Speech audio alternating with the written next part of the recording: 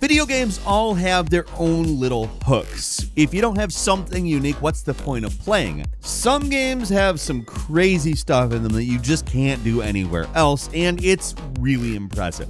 Hi, folks, it's Falcon, and today on Gameranx, 10 mind blowing things you can do in modern games. Starting off with number 10, it's juggling in Half Life Alyx. So, Half Life Alyx is actually a very serious and good entry to the Half Life series, but it's also a game built for screwing around in VR and kind of showing VR for what it is a tool that goes beyond that of a typical video game controller or a mouse and keyboard, and allowing a much more tactile, physical manipulation of the world around you. Like, there is so much stuff you can pick up, manipulate, and oh, yeah, immediately smash on the ground once you're done with it. Like, in all seriousness, Half Life Alyx turns into the Lonely Island threw it on the ground about 20 seconds after you pick anything up, and I love it. But with a little skill, almost anybody can juggle in Half Life Alyx. Juggling, not quite like throwing stuff on the ground. Firstly, juggling is part of the system.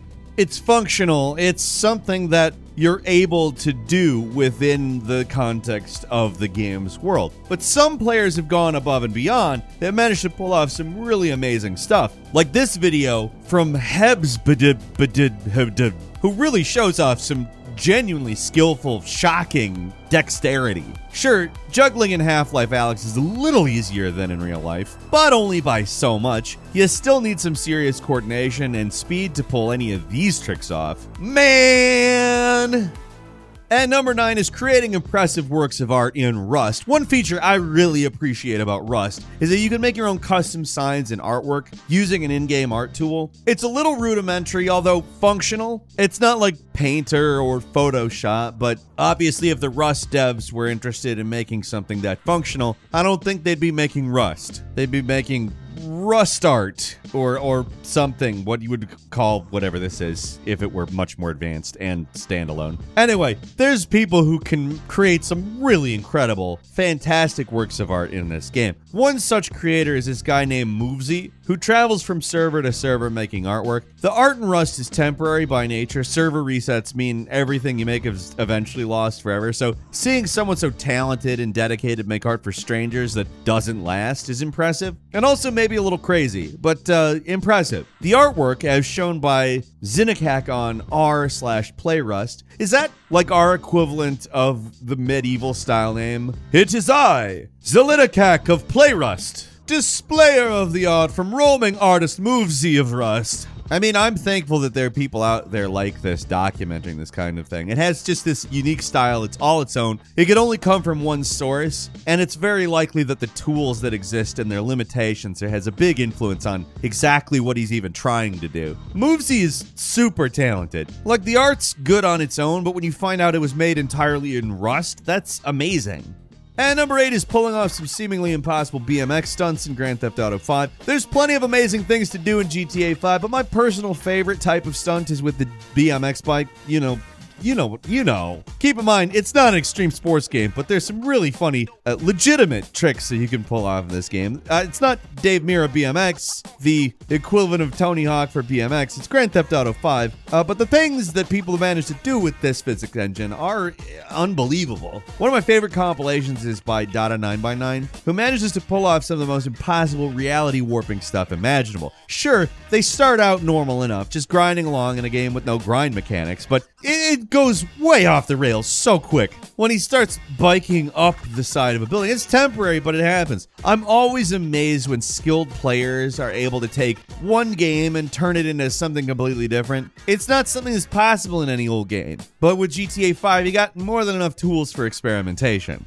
At number 7, watching a play in Fallout 76. I know we rag on Fallout 76 a lot, and I'm gonna say it's deserved don't think I'm walking back on it just because there's something awesome in it. Uh, there's a hardcore player base in this game that is keeping it going, and good for them. Like, if they enjoy the thing, I'm happy for them. And some of the things they've managed to do are frankly amazing. Case in point, the Wasteland Theater Company, which is seriously an entire in game performing troupe. Like, have you ever watched Station 11 on HBO? It, it's that but in Fallout 76, basically. It sounds like a cute little thing, but the amount of time and work they put into these performances, frankly, it's mind blowing. The characters are all performed by a group of actors in front of an actual live audience. Uh, it's definitely scrappier than something like Marshmello performing on Fortnite, but that's basically a pre recorded video that Epic presses the play button on. These Fallout plays are actually performed live by people for real. It's just in Fallout 76. Like looking at the credits, you can see the top of the actors. There was somebody in charge of lighting, stage management, set builders. There's tons that go into these things. And humorously, in the description of the video recorded by Jessica Starr, it thanks everybody on the server for not nuking the performance, which is a thing that's very possible to do. And excellent that the player base is respectful enough not to.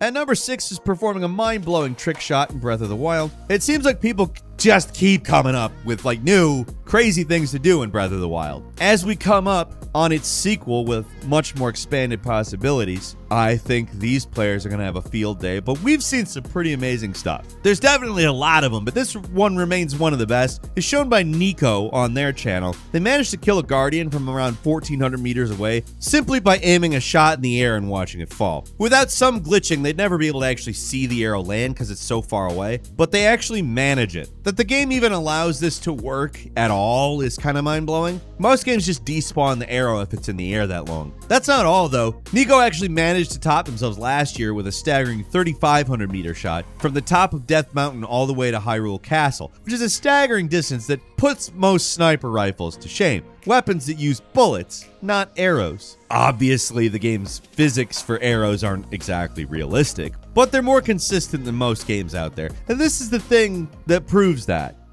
At number 5, playing a stealth game like you see in The Matrix. This one's a little more generalized, but there's playing a game well, and then there's this. Like, imagine the way YouTuber Stealth Gamer BR sees the world. It's gotta be like how Neo sees The Matrix, right? He's seen behind the veil and knows everything that a game is gonna do before any of it happens. How else can you explain the mind-blowing stuff he manages to do in games like Far Cry and Hitman? He's standing in place, throwing some random thing in the air, and like a minute later is bonking some guy in the head who wasn't even there before. The short videos posted on his channel would have only been possible to do after hundreds of hours of practice. At least that would be the case if I was doing it. Maybe this guy's just really good at games or is magic. I mean, he's probably not magic, but it doesn't really matter. The stuff he manages to pull off are equal parts mind blowing and also hilarious, but there's just nobody out there doing it quite like this guy is.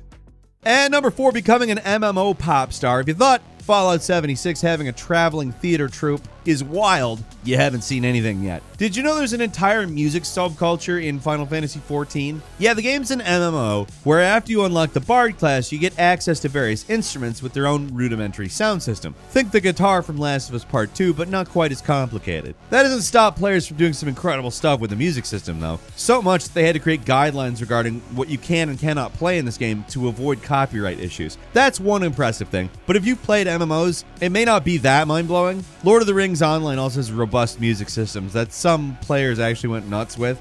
But here's where it starts to blow my mind. On top of there being special music venues you can access, there's also entire music groups who perform in the game. One such group is called the Songbirds, who, yes, have a web page and everything. These shows aren't just some little amateur thing either, they go on for two and a half hours. Plus, there's intermission where they're playing songs from various Square Enix properties. It's a whole production. It's pretty insane from the outside looking in. The band was formed back in 2018, but according to its website, they're still around and still performing concerts, which is a pretty good run for a real band, let alone a digital one.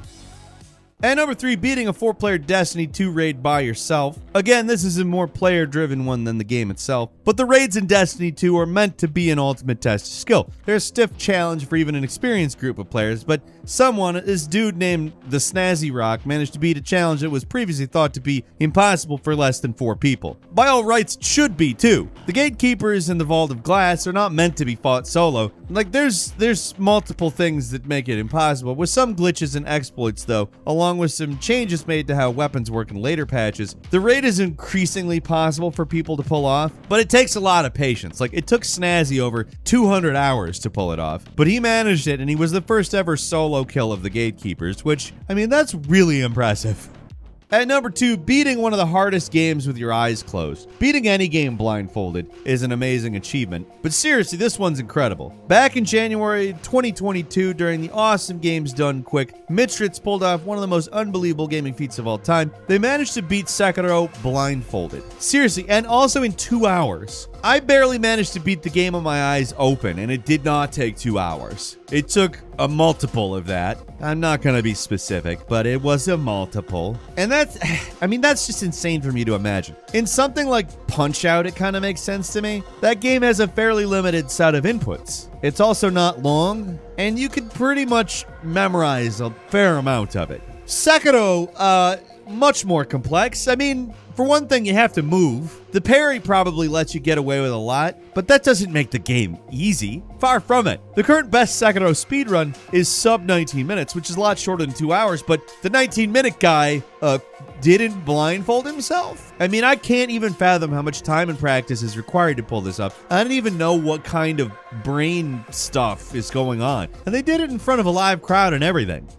And finally, at number one, beating a game with your mind. Video games media, I'm calling you out here. Cool it with the guy beats Elden Ring with an even weirder controller articles. I get it. Bananas, potatoes. Not tomatoes, though. Tomatoes, uh, I don't think anybody wants to deal with that mess. But with that said, this one is, I guess, categorically that kind of thing. But man, it's much cooler. Someone managed to complete Elden Ring with their mind. Uh, the person who pulled it off Perrikaryal used a device called an electroencephalogram to map specific brain signals to different controller actions. Oh yeah, I said that word like I know how to say it. Also, same thing goes with their username. Holy crap. Both wild stabs in the dark. But the electroencephalogram, say that five times fast, uses brain signals which she mapped to different controller actions. So pulling off a basic attack using her brain did take hours of effort, but eventually she managed to mostly be able to attack consistently.